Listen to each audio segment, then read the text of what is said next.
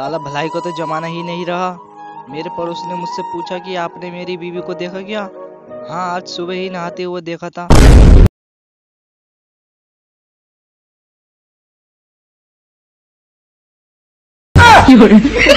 हाथ उसी का पकड़ो जो आपको ना छोड़े। हाथ उसी का पकड़ो जो आपको ना छोड़े। उदाहरण, बिजली का तार।